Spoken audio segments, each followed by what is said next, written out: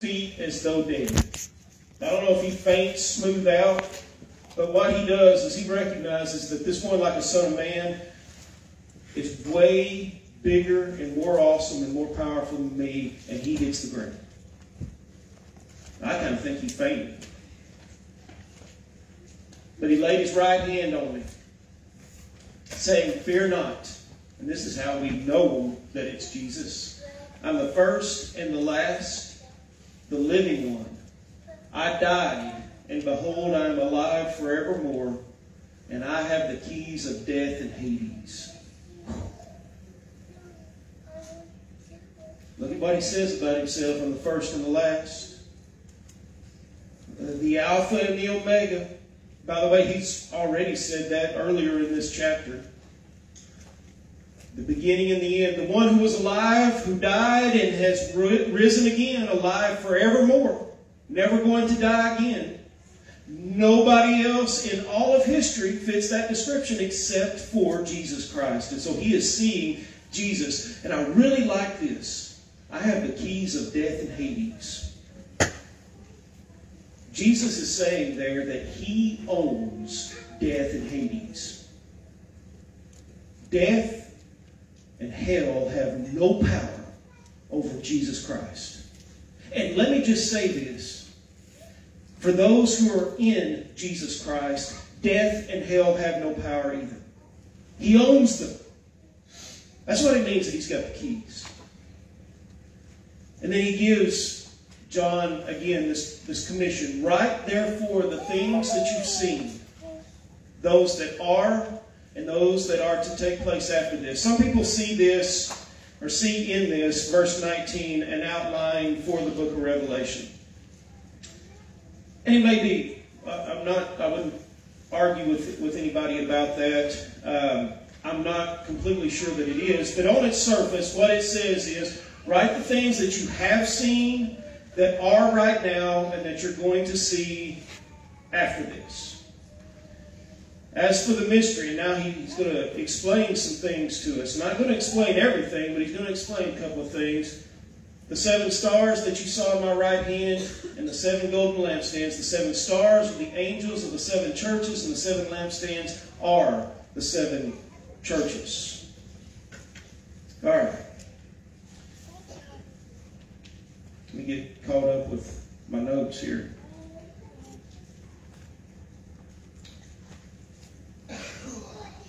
First off, let's talk about the angels. The, the, the stars in his right hand, those seven stars, are the angels of the seven churches. So, does this mean that each congregation has its own angel? I, I don't know. I don't know if that's what that means or not, for sure. But what it does mean is, and, and I, I want us to, to recognize this and to not miss it God holds the angels, or Jesus holds the angels in his right hand. The angels, remember, they are, well, let's just look at the definition in, in Hebrews. All angels are not all angels, ministering spirit, spirits sent to serve those who will inherit salvation.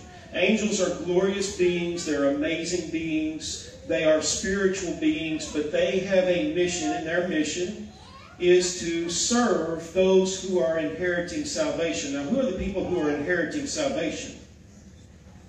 Christians, right? It's, it's you and me. Angels, their, their role is to, obviously, to serve God, but to serve and to minister to you and me as, as believers. And so, recognize again, where are the angels in this revelation? In Jesus' hand, right? He holds the angels that serve him and serve the church in his hand. But then you've got the lampstands, and I really want to key in for just a minute on these, these lampstands because they're vitally important. Again, they're this article in the temple, uh, which is under the old covenant the place where Yahweh dwells on earth. Now, by this time, this would have been in the 90s AD, the temple no longer exists. It has been destroyed back in 70 AD. but they would have understood golden lampstands. And especially when Jesus comes right out and says, hey, these are the churches, this would have been the place, the, the light of the world, the place where God's presence dwells. Okay, that's important to remember. The Lord, he, the temple now is the church. We, the church, is where the, the Spirit of the Lord dwells. By the way, that's part of the reason why this is so vitally important is because God's present in us and we come together and it's it's powerful and it's special. It's it's holy. This this assembly is holy.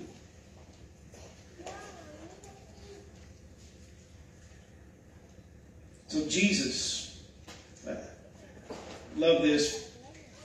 Jesus is, is giving a message, right? John is receiving a message. And again, it's a message not just for John, but it's, it's a message for John to share with others. Write down, he tells him twice, write down what you're seeing. But understand, the medium is part of the message. It's not just write down and share what you're seeing, but the fact that the risen Lord Jesus is standing in the midst of the lampstands with the seven stars in his hand, that's part of the message as well. And, and, really, the message is this, and, we're going to look at these implications, but Jesus Christ is awesome. And he cares deeply. He is in the midst of and cares deeply about his church, his bride, you and me. So let's talk implications. First is Jesus is awesome. This picture of the risen Lord Jesus. It compels us, like John, to fall down on our faces in adoration. Jesus is amazing. Now, we're going to see over in Revelation 4, Jesus portrayed like a lamb, a, a lamb that has been killed. But most of the pictures that we see of Jesus, first off, Jesus no more is, uh, is lamb. He is risen, he is powerful, he is awesome. But I want to say this. We need to worship the Lord Jesus with every part of our being. He is worthy. He is awesome. He is all powerful. He is the beginning and the end. He owns uh, death and hell. He is worthy of our worship. And, and so, I just want to remind you that as we come together, we need to be giving it our all as we worship the Lord.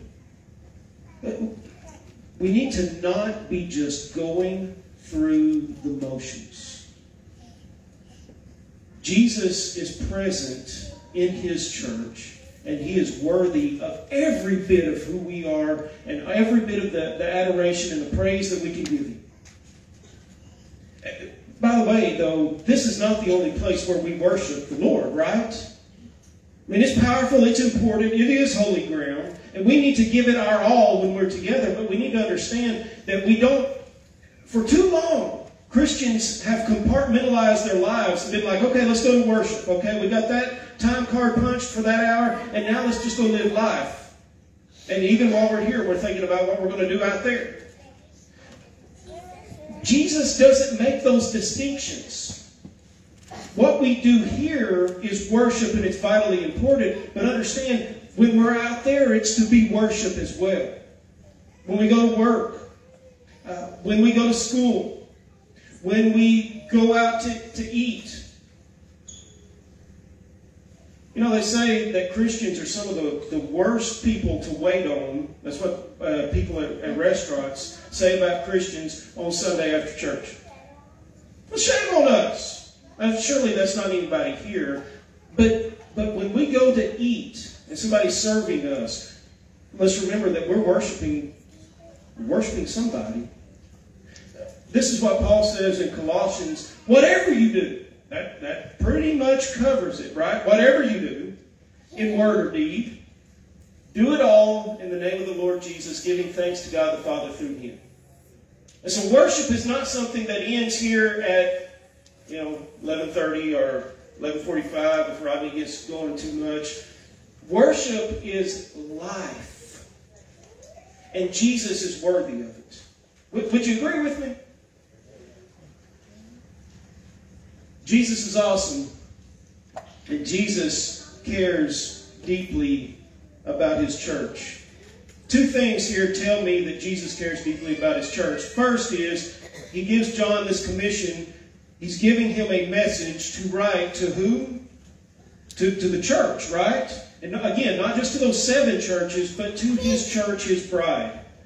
They desperately need to hear the message that Jesus is revealing to John for John to pass on to those churches. We desperately need to hear the message that Jesus gives to John and passes on to the church. Jesus cares deeply about his church. The other thing, and I, I, I don't think I'm reading too much into this. The other thing that tells me that Jesus cares deeply about his church is his, his position in this vision. It's not, it's not just a vision. I believe John is seeing the risen Lord. Where is he located?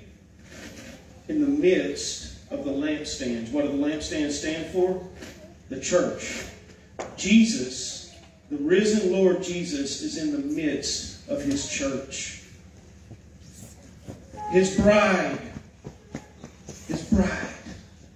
Jesus cares deeply about his bride. Listen, if you've ever you ever experienced a wedding day, and, and, and particularly haven't experienced it as, as a bride, but I've experienced it as a groom, seeing my bride, her dad escorting her down the middle of these all these people that, that we love. I wasn't paying attention to those people though. And I sure wasn't paying attention to her dad. I had eyes for the one that was about to be my bride. Jesus looks at us the same way. He cares deeply about his church. And now, let me just preach for a minute here. I know y'all thinking we've been preaching for 30 minutes. And let me step on maybe your toes, certainly on mine. If Jesus cares so deeply about the church, maybe we ought to care deeply about the church too. Would you agree? See, there's some implications here. If Jesus cares that deeply about the church, what, what does my time say about how much I care about the church? What's, what's my wallet say about how much I care about the church? What do my talents say that I care about the church? We, we miss, I, I grew up thinking that church was something we had to do. It was like a duty or an obligation. And when I say church, understand the calling is not here. We, we describe as faithful somebody that attends worship service regularly. That is not a biblical definition of faithfulness. Okay? It's so much deeper than that. He, he is not, he did not die for us to come here and just participate. This is not what he died for. And this is not what he calls us to. He calls us to something so much bigger, so much deeper, so much more powerful. A yoking together with him and with each other that transcends an hour on Sunday morning and, and maybe, you know, if you're really holy, an hour on Wednesday night, right? It's not about this, as important as this is, it's about life and it's about our relationships and it's about it's about being intimate with him and with each other.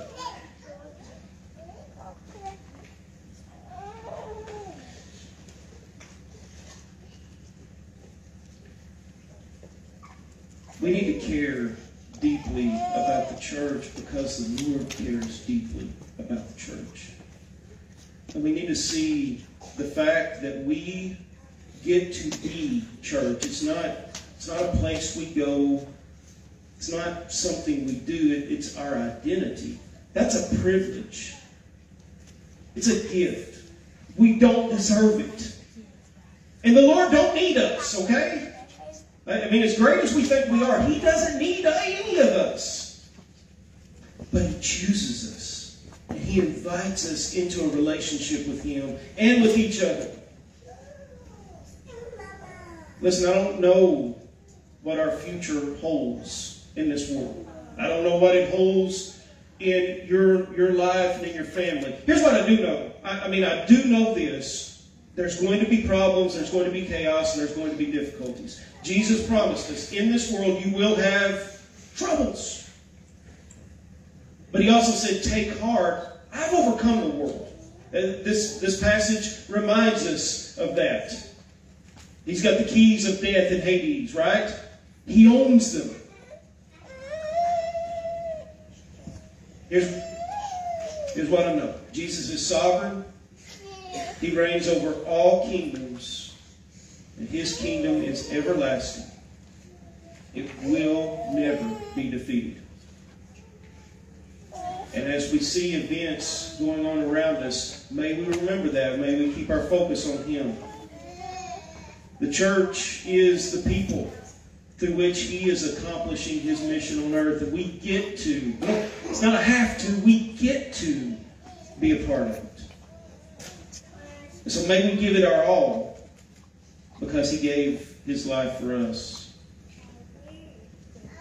Uh, after I wrote this, this sermon this week, I, I think it was actually yesterday morning, uh, somebody one of you actually had shared on Facebook about this song called He's in the Room. And I, I wasn't familiar with that song, so I went and listened to it. And, and I would encourage you to do the same. It's, it's pretty good. But the message of the song is essentially when we have eyes to see that He's here. Like when, when, when, when we take our eyes off of what's going on around us and put them on Him, it makes all the difference. The apocalypse, the revelation, is the revealing that He's here in the room. May we never forget. Let's pray. Lord God, we thank you. Thank you, Jesus, for revealing yourself to John in a powerful way and giving him this commission. And, and we here 2,000 years later get to be the beneficiaries of that.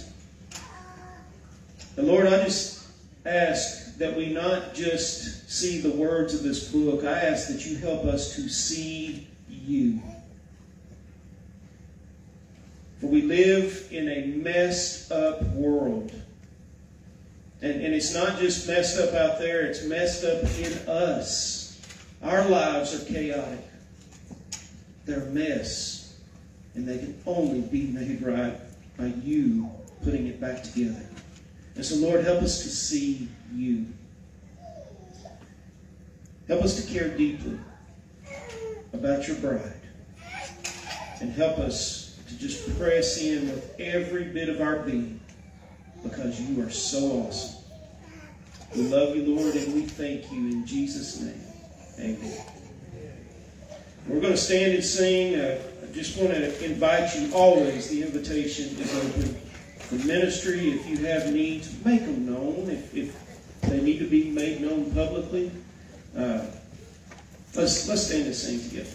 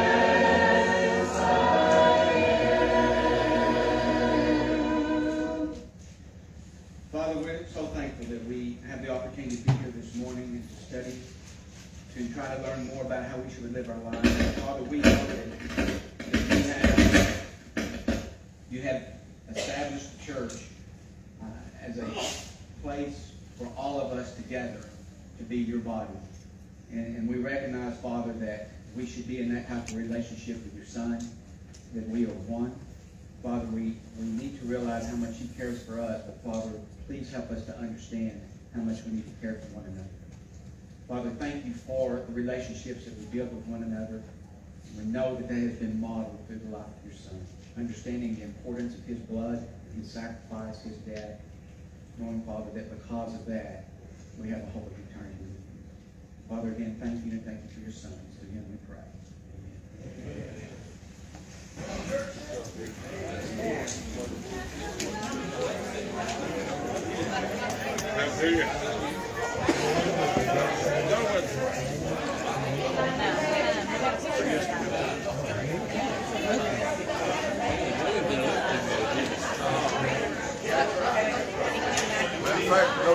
Uh, made almost look like.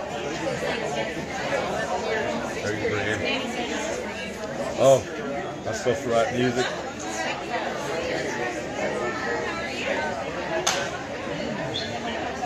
Thanks for being here, uh, singing loud. Did I sing loud? But not, not, no, really not. It didn't come across as loud as normal to me, but I can pick up and try to follow you anyway. You hear that sub bass? That's right. Good job. Hey, thank you, Well, brother. They've been best you done. Don't you think? Yeah. It was a good, darn good We're, fi- we're fixing to have World War Three though. It's already started. It's already started. It's Too going. bad we got that kid. Hey, but remember who's on the throne.